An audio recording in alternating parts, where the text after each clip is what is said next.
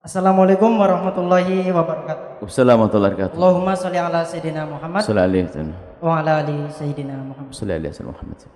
Mohon izin bertanya Buya. Eh, Buya, kalau kita itu minjem atau utang di bank syariah, apakah itu ada ribanya? Karena kondisinya seperti ini Buya. Anggap saya ini mau buka franchise Indomaret atau Alfamart lah gitu. Butuh modal atau dana 700 sampai 1 miliar. Nah, saya ini kebetulan belum punya uang. Tapi di tengah jalan kebetulan kayaknya ada peluang emas nih. Ada seseorang yang nawarin tanah ke saya. Jual cepet satu miliar gitu.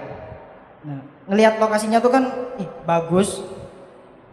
Setelah dicek nilai dari tanah tersebut oleh pihak bank dan pihak terkait ternyata nilai ini nih bisa 2 miliar wah ini bagus gitu mikirnya bu ya boleh nggak saya itu misalkan pinjam uang ke bank 2 miliar nah miliar ini buat beli tanah nanti sertifikat ini buat jaminan ke bank itu dan sisa satu miliarnya lagi itu untuk membuka franchise Indomaret atau Alfamart terkait itu Bu.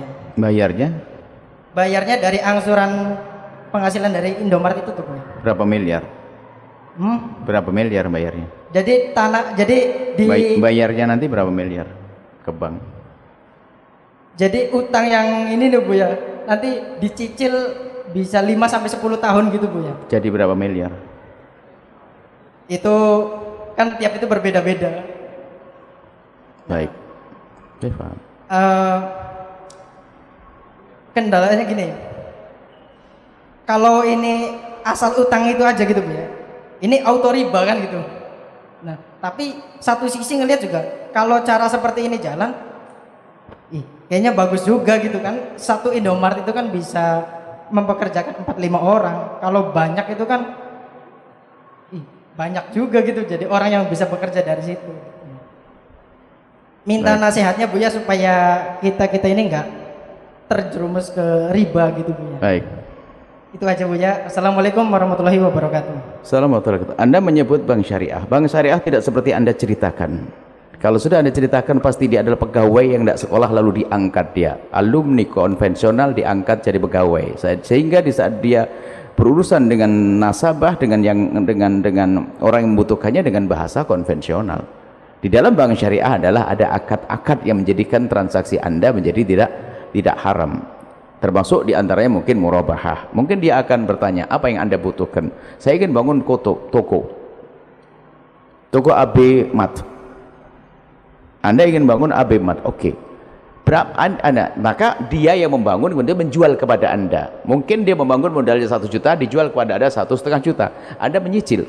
Jadi kalau urusan bank syariah itu adalah sudah sesuai dengan syariat dalam transaksinya.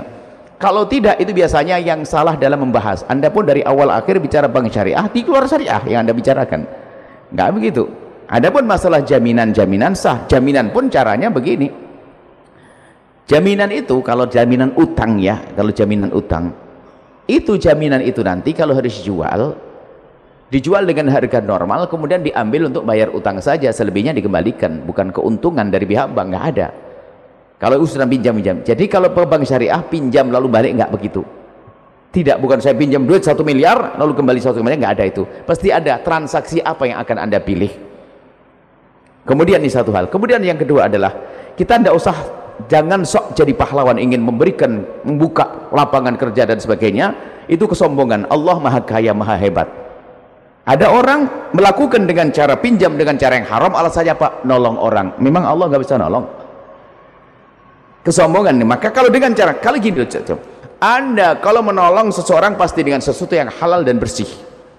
Kalau ternyata anda ingin nolong orang dengan sesuatu yang haram tanya anda nolong karena apa pasti karena sanjungan manusia. Kalau karena Allah nggak akan anda melakukannya. Wong saya ingin disanjung oleh Allah. Ya ini sering orang orang ingin jadi pahlawan tapi sebenarnya dia bukan pahlawannya Allah tapi pahlawannya kesombongan pahlawan. Jadi selagi anda bisa menolong ya sudah. Contoh ya ini. Suatu dari ya tetangga saya Masya Allah dia pengen usaha dan sangat butuh. Saya punya toko. Kalau menjelang hari raya itu tetangga tetangga itu saya izinkan mengambil untuk jualan. Ngambilnya hari raya sebelum hari raya bayarnya nanti setelah hari hari raya. Cuman tahun ini yang ikut banyak. Modal saya kurang. Saya cuma punya uang modal 2 miliar. Tahun kemarin itu 2 miliar ludes dalam waktu singkat. Sekarang saya ingin saya tingkatkan 3 miliar. Cuman saya nggak punya modal. Dan kasihan mereka itu boleh kita tolong terus saya akan pinjam ke bank konvensional wah mulai masih. Wah ini sok jadi pahlawan nih kayak pengen hebat dia. Nah, akhirnya betul ngambil bisa nolong orang ajib. Dia pengen disanjung manusia bukan Allah. Bahaya ini semacam itu. Jadi lakukan. Anda syari dengan cara syariah ada. Anda paparkan ke bank syariah bahwasanya anda punya hajat begini dan saya punya tanah seperti ini lalu saya ingin membangun toko nanti akan didiskusikan. Transaksi apa yang anda ambil nanti bisa jadi biasanya kebanyakan murabahah itu. Dia yang membangun kemudian setelah selesai dijual kepada anda dan anda nanti membayarnya lebih mahal kepada dia sesuai dengan kemampuan anda itu kan itu kan sudah mereka tentukan. Seperti itu ya. Jadi mohon di saat kalau urusan bank syariah tentu dalam bank syariah banyak yang kita kritik. Saya banyak kritik pada bank syariah. Tapi secara umum saya dukung adanya bank syariah. Sehingga kalau ada yang salah berarti salahnya pegawainya dalam membahasakan jadi karena dia simple pinjam 100 juta balik 120 juta. Gitu dok nah ini ini yang salah ini. Ini bahwa ini pegawainya adalah bukan bukan bukan lulusan syariah dia. Dia mau hijrah tapi belum sempurna. Tapi ingat jadi tidak semuanya insya Allah transaksi yang di syariat. Di sana ada dewan syariah.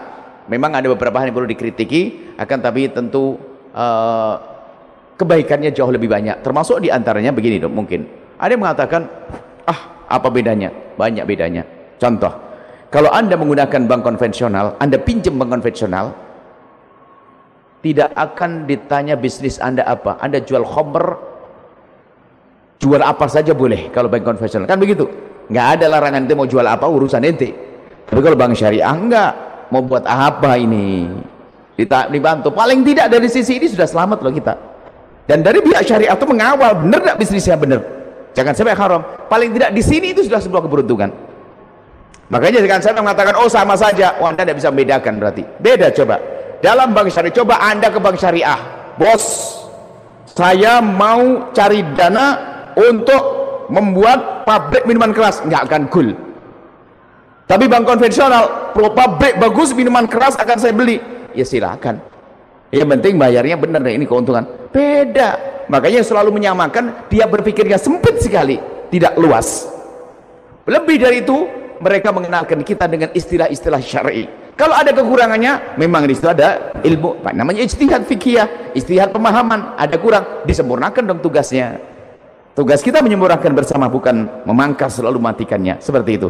Silahkan Anda datang ke bank syariah, pasti diberi petunjuk yang benar. Tidak usah khawatir. Kalau Anda memang ingin nolong orang, insya Allah cara transaksi yang benar, apalagi kita punya tanah harga 2 miliar, insya Allah mudah itu semuanya.